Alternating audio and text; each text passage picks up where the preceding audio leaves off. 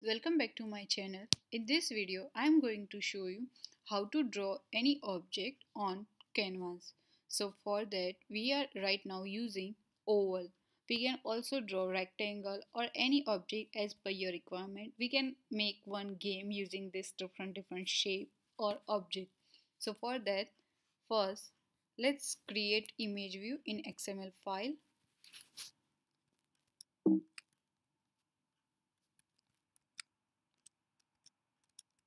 So I'm creating here image view and setting height and width as match parent, assigning one ID as image view, then go to code. Here we are creating one bitmap variable and assigning it to canvas. So first let's create variable for bitmap colon bitmap is equal to bitmap dot create bitmap here we are using width and height. Let's set at 7 700 then height is equal to 1000 then bitmap dot config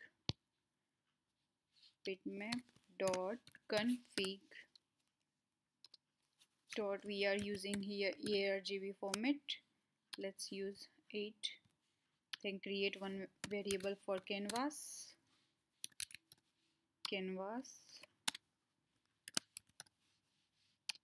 is equal to canvas and we are assigning here bitmap variable. Then for drawing any shape we have to create a shape drawable. So let's make one variable for shape drawable.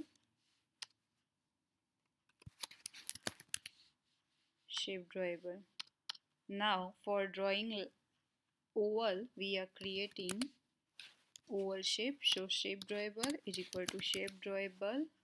And in bracket we have to mention oval shape method which will we draw oval like a circle.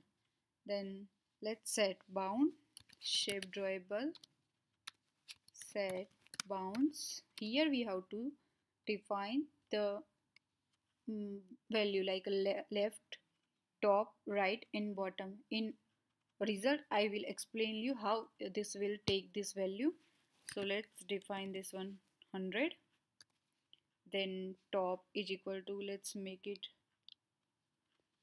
400 then 600 in bottom we are defining 800 now set the color here and then draw it to canvas variable.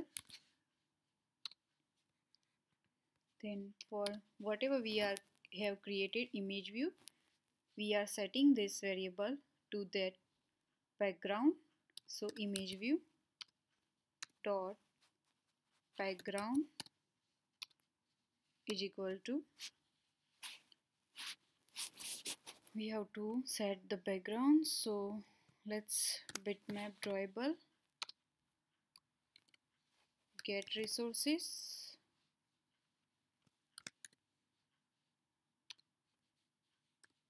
Then bitmap object.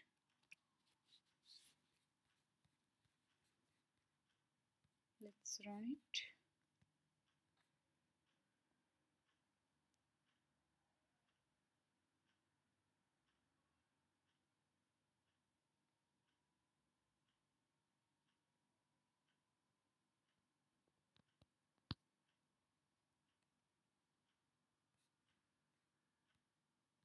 so this is oval let me explain you how it will take the bounds variable. So this is the left.